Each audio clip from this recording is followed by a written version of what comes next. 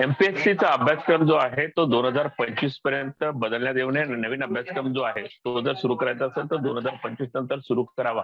या संदर्भातली जी भूमिका आहे ती राज्य सरकारने विद्यार्थ्यांची स्वीकारलेली आपल्याला पाहायला मिळते. तर गेले अनेक दिवसापासून या नवीन अभ्यासक्रमाला विरोध होताना आपल्याला पाहायला मिळतोय. राज्य सरकारने जरी ही भूमिका स्वीकारली असली तरी आता राज्य आयोगाकडे ही संपूर्ण भूमिका जाईल. आणि एमपीएससी यावर काय निर्णय जो आहे तो एक किंवा दोन दिवसामध्ये या ठिकाणी राज्य सरकारला कळवेल. पण आज सरकारने ही भूमिका जाहीर केली की दोन हजार पंचवीसपर्यंत जो जुन्याच अभ्यासक्रमानुसार या परीक्षा ज्या आहेत त्या घेतल्या जाव्यात. या संदर्भातली ही भूमिका आज राज्य सरकारने जाहीर केली आणि मुख्यमंत्र्यांनी देखील जाहीर केलीचं आपल्याला पाहायला मिळत आहे आपल्यासोबत केतन कुमार पाटील जे आहेत ते राष्ट्रवादी काँग्रेसचे स्पर्धा परीक्षा विभागाचे सरचिटणीस आहेत. ते आपल्याशी जोडले गेले केतन कुमार सर एक विषय जो आहे तो वारंवार अनेकदा या संदर्भातला विषय जो आहे तो की नवीन अभ्यासक्रमाचा मुद्दा जेव्हा समोर येतो तेव्हा जुना अभ्यासक्रमासाठी जे विद्यार्थी तयारी करत असतात त्यांच्याकडनं मोठा विरोध जो आहे तो आपल्याला या ठिकाणी पाहायला मिळतो. आयोगाने जेव्हा नवीन अभ्यासक्रम लॉन्च केला किंवा तो जाहीर केला तेव्हा सगळ्यात महत्त्वाचा मुद्दा हा होता की हा अभ्यासक्रम का आणला जातो आणि अगोदरचा अभ्यासक्रम आपल्याला का नको? ह्या जर दोन गोष्टी आपल्यासमोर राहिल्या तर आजपर्यंत जो प्रवास झालाय तो आपल्या सगळ्यांच्या लक्षात येईल. आयोग हा क्लॅरिटी नाहीये किंवा आयोगामध्ये भ्रष्टाचार आहे किंवा आयोगामध्ये अनेक पक्षपातीपणाचे प्रकार होत आहेत अशी भूमिका साधारणतः दोन हजार ते दोन हजार सहाच्या कालखंडामध्ये आपल्या सगळ्यांच्या लक्षात आलेली असेल. आयोगावरती अनेक केसेस झाल्या कोर्टात जावं लागलं अनेक भ्रष्टाचाराचे आरोप झाले काही लोकांना शिक्षा झाल्या एकोणीसशे पंच्याण्णव ते दोन हजार पाच हे जे दशक होतं. ते आयोगावरती साधारणतः साशंकपणे बघितलं जात होतं. नंतरच्या काळात अनेक टीका टिप्पण्या झाल्या अनेक आयोग समित्या बसल्या आणि कुठला पॅटर्न आणला जावा यासोबतच दुसरा भाग असा होता की पेपर लवकरात लवकर तपासून दिले जावे. ते कुठेही पक्षपातीपणाचा भाग त्याच्यामध्ये असू नये म्हणून ऑब्जेक्टिव्ह परीक्षेकडे आयोग गेला. दोन हजार बारा तेरा चौदा पंधरा या साधारण काळामध्ये हे बदल सुरुवात झाली. यासोबतच युपीएससीने बदलाचं धोरण स्वीकारलेलं होतं. सिव्हिल सर्व्हिसेस ऍप्टिट्यूड आणि इथिक्स नावाचा पेपर युपीएससीने आणला होता. तेव्हा केंद्रात महाराष्ट्राचे माजी मुख्यमंत्री श्री पृथ्वीराज चव्हाण होते. युपीएससी मध्ये हा बदल आणला. सोबतच एमपीएससीला वाटायला लागले की ह्या बदलाची अंमलबजावणी आपण आपल्यासोबत करायला लागेल. म्हणून सीसीचा पेपर महाराष्ट्रामध्ये लॉन्च झाला. या इथे बदलांना सुरुवात झालेली होती. पण तुम्ही जर बघाल तर या बदलांना मोठ्या प्रमाणात विरोध झालेला आपल्याला दिसून येत नाही. याचं कारण पुरेसा दिला गेलेला वेळ व्यवस्थित केलेली अंमलबजावणी आणि जो मेसेज द्यायचा विद्यार्थ्यांपर्यंत तो देणे हे काम झालेलं होतं.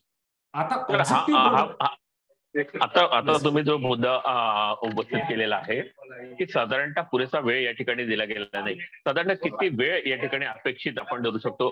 जर समजा युपीएससी थेट बदल करत असेल आणि जर समजा आपल्या मुलांना एक मोठं व्यासपीठ युपीएससीच्या परीक्षांचा अभ्यासक्रम देखील खाली आला तर कुठेतरी युपीएससीला जाण्याची संधी देखील मोठ्या प्रमाणात मिळू शकते. साधारणतः परीक्षांच्या आधी किती वर्ष आधी साधारण हे संपूर्ण नवीन अभ्यासक्रमात मुदत दिली गेली पाहिजे असं तुम्हाला वाटतं बघा म्हणजे आपण मुदत हा जेव्हा प्रश्न विचारता आहात किंवा विद्यार्थ्यांच्या दृष्टीने जेव्हा आपण हा गृहित धरतो तेव्हा मुदत याला कमीत कमी एक वर्ष दिलं जावं असा माझा आणि आपला अंदाज असायला हवा. कारण मी तुम्हाला सांगतो. कुठलेही कोचिंग क्लास असेल किंवा विद्यार्थी असतील हे तयारी करतात तेव्हा ते ग्रॅज्युएशन नंतर एक वर्षानंतर जेव्हा परीक्षा देणार असतात तेव्हा अगोदर ते क्लास लावतात किंवा तयारीला सुरुवात करतात. हा एक मुद्दा झाला. दुसरा याच्या अगोदरचा पार्श्वभूमी तुम्हाला सांगतो मी. की आपल्याकडे येणारे विद्यार्थी इंजिनिअरिंग बॅकग्राऊंड मधून मेडिकल बॅकग्राऊंड मधून फार्मसी अॅग्रिकल्चर या बॅकग्राऊंड मधून येतात. पण जर तुम्ही स्पर्धा परीक्षांचा अभ्यासक्रम पाहिला तर तो तुलनेने इतिहास भूगोल नागरिकशास्त्र अर्थशास्त्र या विषयांचा असतो. त्यांना या विषयांची तोंडओळख होणं त्याच्यात मास्टरी अवेलेबल करणं आणि या याच्यासाठीचा जो भाग आहे हा किमान एक वर्ष तरी असायला हवा अशी भूमिका सगळ्यांची आहे. आणि हा वेळ दिला गेला नाही. म्हणून विद्यार्थ्यांमध्ये आक्रोश होता. तो थोडा उशिरा का होईना पण जागा झाला असेल. पण हा विद्यार्थ्यांमध्ये मूळ मुद्दा हाच होता. दुसरा मुद्दा याच्यात आपण लक्षात घेतला पाहिजे तो असा आहे की आयोगाने जसाच्या तसा युपीएससीचा अभ्यासक्रम चिटकवला. विद्यार्थ्यांचा आक्षेप. जर यामध्ये महाराष्ट्राच्या विशेष संदर्भासह एखादा पेपर राहिला असता मराठी भाषेवरती इंग्रजी भाषेवरती काही बदल झाले असते किंवा अजून वेगळं इथिक्सच्या बरोबरीने अजून वेगळं काहीतरी त्यांनी सुरू केलं असतं. दोन ऑप्शनच्या ऐवजी एक ऑप्शनचा पेपर समाविष्ट केला गेला असता. तर यामध्ये अनेक आपल्याला मला वाटतं की विरोधाची धार कमी झालेली असते. अजून एक मुद्दा मला मांडायचा आहे की आपल्याकडचं जे विद्यार्थ्यांचं समीकरण जे विद्यार्थी परीक्षा देतात ते साधारणतः ग्रामीण भागातून येणारेच विद्यार्थी नव्वद टक्के असतात. बहुजन समाजातून येणारा विद्यार्थी हा आपल्या पोटाची आग भागवण्यासाठी नोकरी करत करत स्पर्धा परीक्षा ही करणारा असतो. त्याच्यामुळे त्याच्याकडे तेवढा पुरेसा वेळ ही बाजू आपल्याला बघायला पाहिजे. नक्कीच नवीन अभ्यासक्रम हा सुधारित स्वरूपाचा आहे. आणि याचे लार्जर इंटरेस्ट आहेत. लार्जर टाइममध्ये बेनिफिट्स आहेत. लॉंग रनमध्ये याचा विद्यार्थ्यांना फायदा होईलच. पण यासोबत विद्यार्थी जी भूमिका आहे तीही आपण लक्षात घेतली पाहिजे की जर तुम्हाला एमपीएससीचा अभ्यासक्रम युपीएससीचा अभ्यासक्रम सारखा करायचा असेल तर एकूण युपीएससी मध्ये जी पदं भरली जातात ती कुठल्या दर्जाची भरली जातात? एमपीएससी मधून class one class two class three कुठली पदे भरली जातात? आणि कुठल्या विद्यार्थ्यांना आपण हा अभ्यासक्रम समोर ठेवतोय? याही गोष्टींची आपण शहानिशा करायला पाहिजे होती असं मला वाटतं. पण आपण जर हा अभ्यासक्रमाचा घोळ जो बऱ्याच दिवसापासून या ठिकाणी सुरू आहे आपण जर पाहिलं तर गेल्या अनेक वर्षापासून एमपीएससीच्या अध्यक्षपदाचं पद जे आहे ते रिक्त झालेलं आपल्याला पाहायला मिळालं. त्यानंतर सदस्यांचा प्रश्न देखील मोठ्या प्रमाणात समोर आला होता. आणि वारंवार जे परीक्षक असतील किंवा इतर जे पद पद आहेत त्याचा देखील मोठा प्रश्न निर्माण झाला होता. अशा परिस्थितीमध्ये कुठेतरी एमपीएससी कडनं जी मॅनपॉवर असते किंवा ते तज्ज्ञ मंडळी असतात त्यांचा पुरवठा होत नाही की अंतर्गत सरकारचं या विभागाकडे लक्ष असं वाटतंय? बघा सर महाराष्ट्रामध्ये राजकीय नियुक्त्या असू द्या किंवा प्रशासकीय नियुक्त्या असू द्या त्या विचारांच्या बाजूने बाजूने झुकलेल्या आपल्याला दिसतील. असं गेल्या चार पाच वर्षांमधलं ऑब्झर्वेशन त्यामुळे माझं असं म्हणणं आहे की प्रत्येक सरकारला आपली लोक कुठल्या तरी पदांवरती असलेली वाटू शकत असतील. पण ही पदं मात्र त्या भागात येत नाही इथे निपक्षपणे काम करावं लागतं.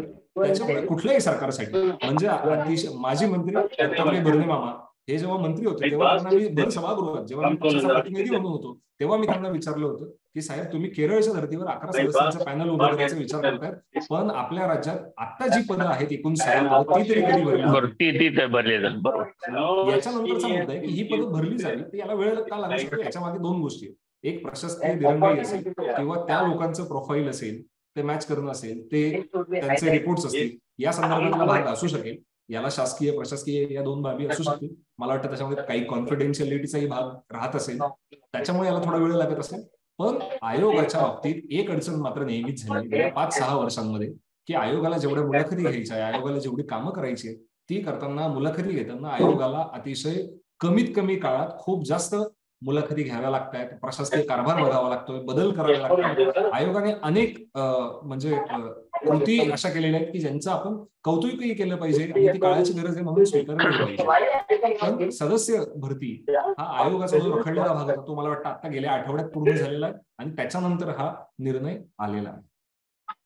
साधारण सर आपण जर पाहिलं तर ज्या पद्धतीनं हा जुना अभ्यासक्रम आता दोन हजार पंचवीसपर्यंत राज्य सरकारने मुदत दिली आहे राज्य राज्य स्पर्धात्मक आयोग जो निर्णय घेईल तो उद्याच्या परवा जाहीर करेल.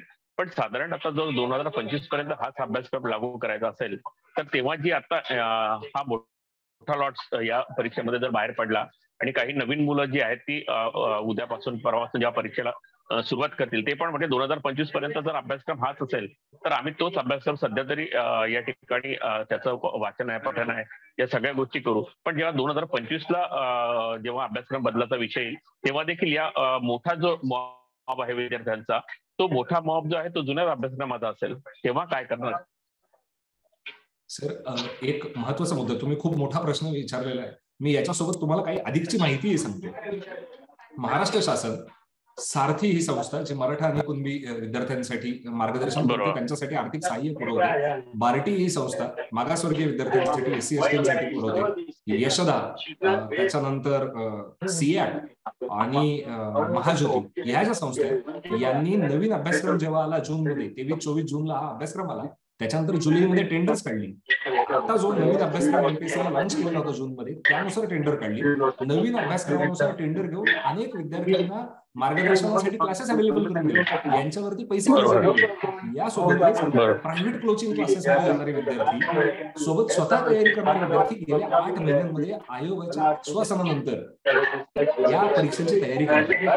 आता हा सुवर्णमध्ये ते कसं गाठतील आणि विद्यार्थ्यांमध्ये मानसिक स्थैर्य मिळवण्यासाठी काय काय प्रयत्न करतील हे आपल्याला माहीत नाहीये. पण महत्त्वाचा मुद्दा हा आहे की आयोगाला आणि प्रशासनाला शासनाला ही भूमिका घ्यावी लागेल की या विद्यार्थ्यांचं कुठल्या प्रकारे ते काउन्सिलिंग करतील या विद्यार्थ्यांना कुठल्या प्रकारची मदत करतील कारण जुन्या विद्यार्थ्यांसोबत न्याय झालेला आहे. पण जे नवीन विद्यार्थी या एक दीड वर्षामध्ये सविस्तर वर्णनात्मक अभ्यास करतात त्यांच्या बाबत त्यांचं धोरण काय असणार आहे? म्हणजे मी तुम्हाला साधी सांगतो मी एका क्लासमध्ये करतो आणि माझ्याकडे जर पन्नास विद्यार्थी आहेत तर ही माझ्याबद्दलची भूमिका तर आहे.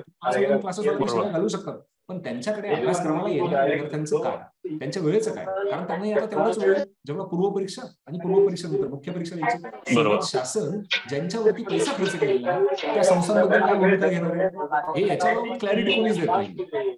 हे सगळ्यात महत्त्वाचे मुद्दे शासनाचा पैसा शासनाचा वेळ. मग ह्या सरकारला जाग नव्हती का? बरोबर. या सरकारने ही भूमिका घ्यायला इतका वेळ का लावला? कारण तुम्हाला म्हणून सांगतो पुण्यामध्ये भाजपचं एक मोठं शिष्टमंडळ आमदारांचं खासदारांचं बसलेलं होतं. अनेक विद्यार्थी त्या कार्यक्रमाला हजर होते. तेव्हा विद्यार्थ्यांनी ही मागणी मांडली आणि या लोकांनी फक्त कागद मिरवले आणि हा निर्णय घ्यायला उशीर झाला. त्याच्यामुळे अनेक विद्यार्थ्यांचं नुकसान झालेलं आहे. आणि मधल्या काळात अनेक घडामोडी घडून गेलेल्या आहेत.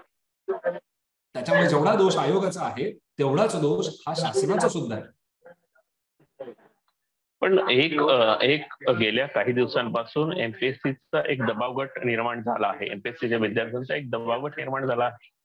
की तरुणांचा थेट विरोध मला नको. ही जी राजकीय भूमिका जी आहे ती या ठिकाणी घेतली जाते. मग ती काँग्रेस राष्ट्रवादीची असो कारण काँग्रेस राष्ट्रवादीच्या काळामध्ये देखील हाच मुद्दा आला. विद्यार्थ्यांच्या संदर्भातले भाजपने आंदोलन केलं. काँग्रेस राष्ट्रवादी सरकारने निर्णय जो आहे तो माघारी घेण्याचा विषय काढला. त्यानंतर आता भाजपाचं सरकार आलंय. भाजपाच्या सरकारमध्ये विद्यार्थ्यांचा दबावगट जो आहे तो आपल्या पद्धतीने निर्णय फिरून घेतो.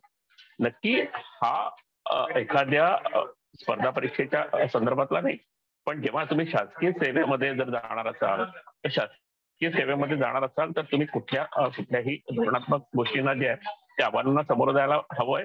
पण एक दबावगट निर्माण करून तुम्ही शासनालाच एक मोठं आव्हान जे आहे ते प्रशासकीय सेवेत जाण्याच्या पूर्वीच उभं करतात असं वाटत नाही. सर भारताच्या संविधानामध्ये प्रत्येक नागरिकाला आंदोलन करण्याचा अधिकार आहे. दुसरी बाब म्हणजे हे अधिकारी होऊ इच्छिणारे नागरिक आहेत सजग नागरिक आहेत शिकलेले लोक यांना तुम्ही कुठल्या दबावाला बळी पाडू शकत नाही. आयोग काय भूमिका घेतो हे जर मी तुम्हाला वाचून दाखवलं आयोगाचे सात जुलै दोन हजार बावीस नवीन अभ्यासक्रम लॉन्च केल्यानंतर ते मी तुमच्यासमोर वाचून दाखवतोय.